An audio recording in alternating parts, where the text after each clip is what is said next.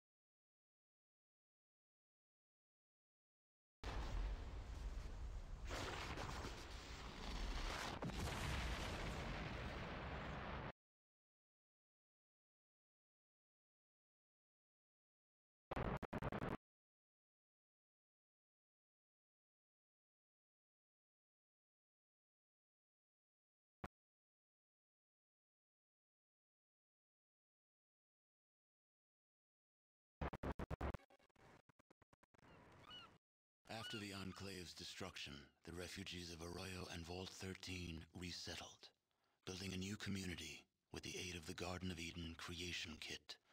Finding themselves hundreds of miles from their vault, the members of Vault 13 chose to join the villagers in establishing a new community, and their technical expertise, combined with the villagers' survival skills, allowed the new settlement to grow and prosper. Two generations of the same bloodline were reunited, and their savior, the Chosen One, became elder, presiding over the village in the years to come. Arroyo's elder lived for many years after the destruction of the Enclave. She was pleased that the ancient separation between Vault 13 and the Vault Dweller had been reconciled, and many were the times she told you that she wished the Vault Dweller were alive to have seen the reconciliation take place. The elder passed away in her sleep, certain that the safety of your new village had been secured and was now flourishing. Many of the older Arroyo residents believe that she now lives in the vault of the sky, telling the vault dwellers of your brave deeds. Relations between the Slags and the residents of Modoc flourished. Between the two peoples, Modoc prospered and became a major farming community, supplying all the outlying regions with food. Metzger's business in the slave trade soon faded with the removal of the Mordino family. The den continued to attract criminals, and Metzger's business practices delved further into drugs and prostitution. The den soon became a rallying point and a safe haven for raiders. The correspondence between NCR and Vault City continued, and a few years after the destruction of the Enclave, Roger Weston assumed the head of the NCR Council. He immediately set limits for NCR's expansion north, and in a landmark settlement, passed an amendment that formally recognized Vault City's independence. Shortly after this settlement, Weston suffered a heart attack and retired from politics. He moved north to Vault City for medical treatment and eventually married Joanne Lynette in the following year. Less than a month after the Enclave's destruction, a mob war broke out in New Reno streets. The Wrights, armed with an arsenal of weaponry that dated back to the pre-war years, leveled the casinos of the other families with rocket launchers. The mob war was clocked as lasting a little over 43 minutes, and when the smoke cleared, half of New Reno had been demolished. To this day, it is commonly taught that the Wright family were the founders of New Reno. Though the Wright family never completely recovered from Richard's death, the knowledge that their killer had been brought to justice eased their troubled sleep. Myron died less than a year after the defeat of the Enclave, stabbed by a jet addict while drinking in the den. His discovery of Jet was quickly forgotten, and now there is no one who remembers his name. Optimizing Gecko's reactor created a power surplus in Gecko. The Vault City Council, unable to expand because of their limited power supply, yielded to internal pressure and was forced to take over Gecko to control the reactor. The peaceful ghouls of Gecko became slaves and spent the rest of their lives serving Vault City.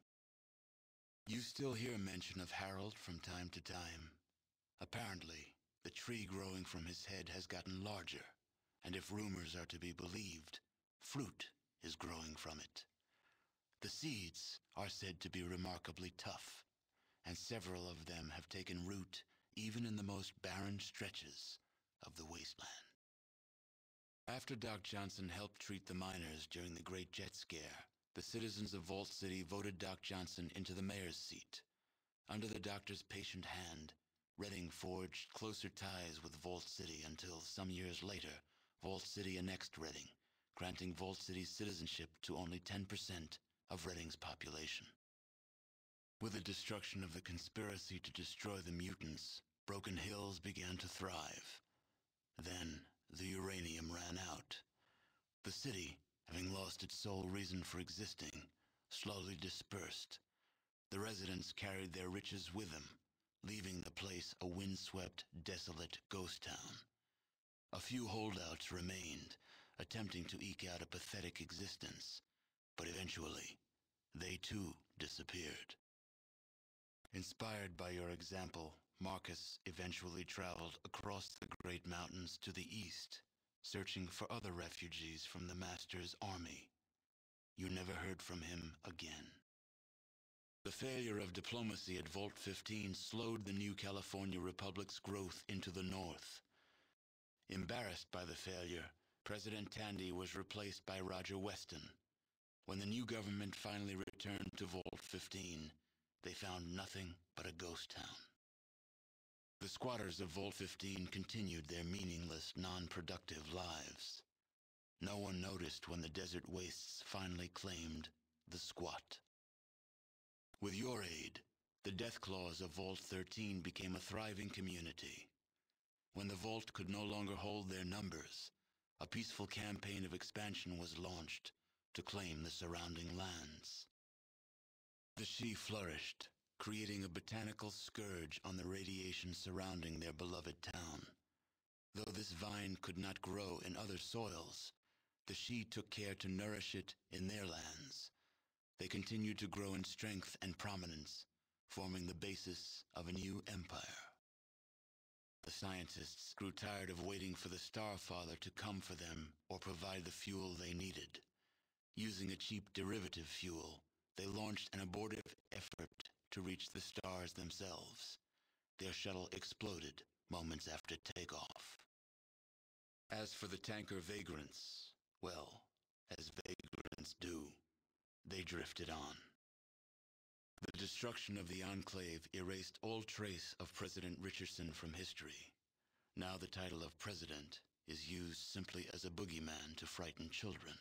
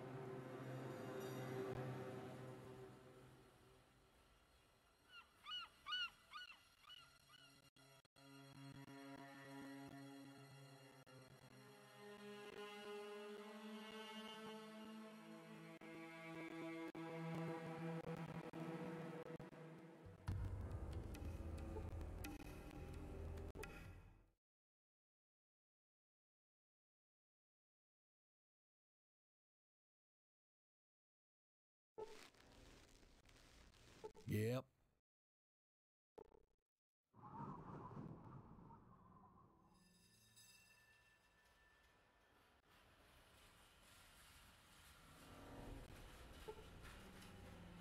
What you be need? You have your army.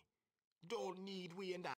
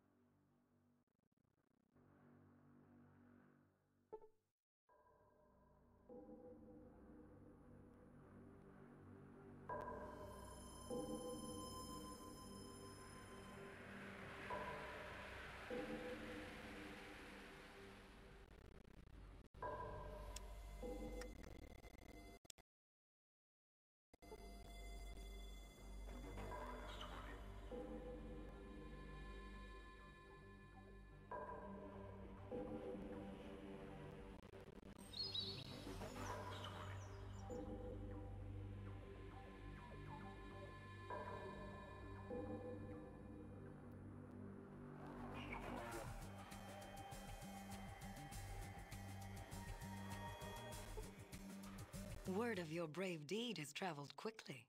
Is it true? Was the government still waging the war?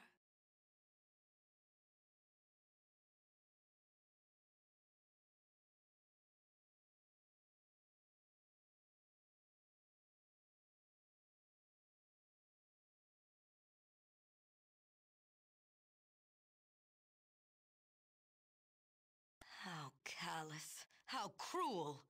Were they not aware of the community we had built here?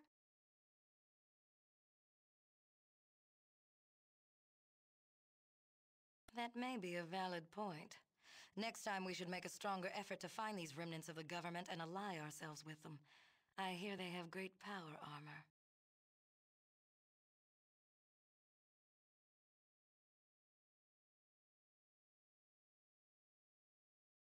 Please, call me Lynette.